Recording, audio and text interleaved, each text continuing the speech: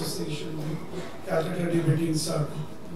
Calcutta Debating Circle has been organizing debates over the years, but what is unique about this evening is for the first time they are holding Bengali debate. Debating Society in India to hold debates in four languages. We have held debates in Hindi, Urdu, English, and as he, our president rightly said, Bangla debates. We had the privilege of holding a Bangla debate once at another club, but this is the first time we are holding a Calcutta club. Our main and esteemed mission statement is to promote debating through the fine art of balanced conversation, not the kind of shouting matches sometimes you see, and is to form public opinion through social media.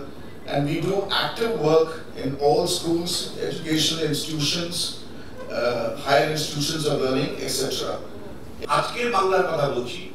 আগামী দিনের বাংলা নয়। হয়তো আগামী দিনের কোনো মহাপুরুষ এসে এই হিংসা বাংলাকে হিংসামুক্ত করতেই পারে। কিন্তু আজকের বাংলায় যেটা দেখতে পাচ্ছি সেই প্রেক্ষিতে মনে হয় যেন আমাদেরকে প্রায় গ্রাস করে করেছে এই হিংসা।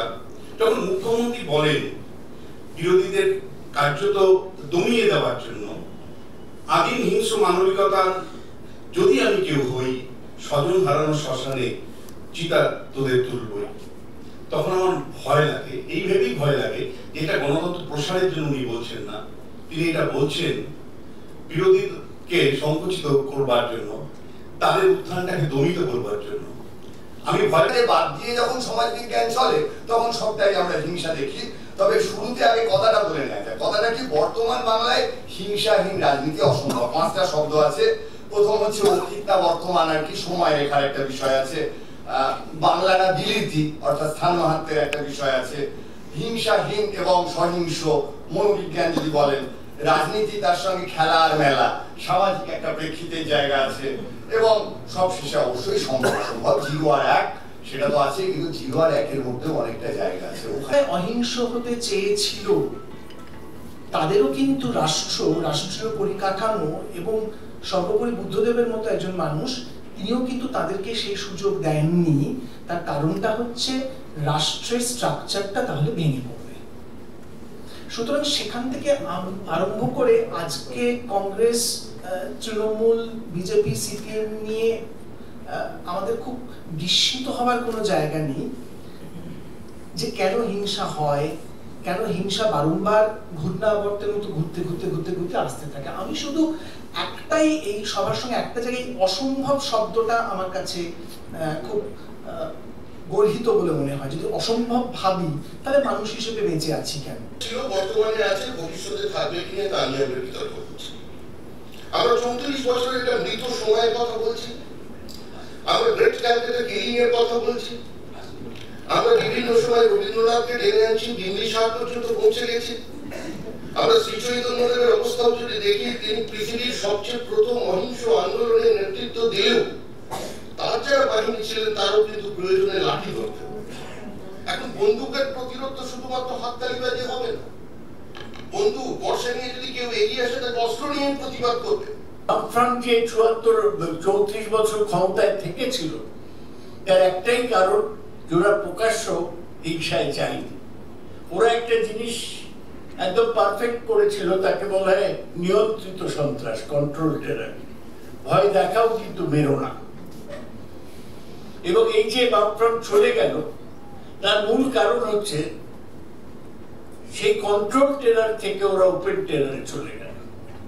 সিঙ্গুরে নন্দীগ্রামে নেতাইতে। প্রকাশ্যভাবে রাষ্ট্রশক্তি এবং পার্টির শক্তি মিলে আন্দোলনকারী মানুষকে মারলো তাই ওদের চলে আমি প্রস্তাবের পক্ষে বলছি মানে আমি যে হিংসাহীন রাজনীতি চাই না, এমন কিন্তু নয় ব্যাপারটা। আমিও খুশি হতাম যদি আমি ওপারে বসতে পারতাম, কিন্তু বাস্তবতা আমাকে সেই সুখ এ যাত্রা অন্তত পক্ষে করছে না। আমি প্রথমে একটা কথা আপনাদেরকে বলি যে রাজনীতিতে, হিংসাহীন রাজনীতি হিংসাহীন রাজনীতি কথাটাকে আমরা কীভাবে দেখব? দুরকম ভাবে দেখা যেতে পারে বলে আমার মনে হয়। এক হচ্ছে, রাজনৈতিক কোনো হিংসা হবে না বা রাজনৈতিক কারণে হিংসা হবে না। সরি এবং দ্বিতীয়, রাজনীতির লোকেরা বা রাজনীতিক দ- রাজনীতির দলগুলো, তারা কোনো হিংসার ঘটনাকে, হিংসাত্মক কোনো ঘটনাকে সংগঠিত করবে না। প্রথমটা যদি বলেন, আমি মনে করতে পারি যে চেষ্টা করাই যায়। যে রাজনৈতিক কারণে, রাজনৈতিক কোনো প্রশ্নের মীমাংসা আমরা হিংসার পথ থেকে, হিংসার পথে রাজনৈতিক প্রশ্নের মীমাংসা করার অভ্যেস আমরা ক্রমশ ত্যাগ করব বর্তমান বাংলায় হিংসার রাজনীতি অসম্ভব। এই অসম্ভব শব্দটায় আমার আপত্তি আছে, কারণ আমি পেশাদার নৈরাশ্যবাদী আমি মনে করি মানুষের আশায় বসতি তসলিমা বিখ্যাত কথা তো সম্ভব। আর একটা রাজ্য প্রচণ্ড হিংসা হয়, সেটা শতরূপরা ক্ষমতায় আছে সেটা ঠিক নয়। তাই শুধু পশ্চিমবঙ্গকে এখানে আলাদা করে চিহ্নিত না করলেও কেরলকেও এর সঙ্গে যুক্ত করা যায়, মাঝে মধ্যে এখানে করা রাজনৈতিক বক্তব্য দিয়ে গেলেন, যে যার দলকে সমর্থন করে। আমার জন্ম সাতের দশকের প্রথম তিন চার বছর পরে। আমি যে পাড়ায় থাকতাম, সেখানে নকশাল আন্দোলন খুব তীব্র ছিল। আমার বাড়ির অদূরেই হেমন্ত বসু খুন হয়েছে। আমি বাবা জ্যাঠাদের কাছ থেকে শুনেছি। তারপর পেশাগত জীবনে এসে মৌবিও আমার সঙ্গে সমর্থন করবে যে আমি হিংসা দেখেছি। আটানব্বই, নিরানব্বই সালে অবিভক্ত মেদিনীপুরে যে রাজনৈতিক হিংসা হয়েছিল, ছোট আমার ইয়া থেকে কেশপুর করপেটা চম্পাইতলা, সেগুলো আমার মানে চক্ষু কর্ণের বিবাদ ভঞ্জন করবার জন্য আমি ঘুরেছিলাম পেশাগত দায়বদ্ধতার জন্য, তাই হিংসা আমি দেখেছিলাম। তাই এই হিংসা দেখাটা আমার ওই নয়ের দশকের মাঝের থেকে শুরু এবং এখনও আমি হিংসাটা দেখে যাচ্ছি। এই ঈশ্বর পরিত্যক্ত বঙ্গদেশে হিংসা কবে মুক্ত হবে, কবে রাজনীতি তার স্বাভাবিক ছন্দে ফিরবে যেখানে গণতন্ত্রের প্রকৃত বিকাশ হবে, সে সম্পর্কে আমার মনে সংশয় আছে।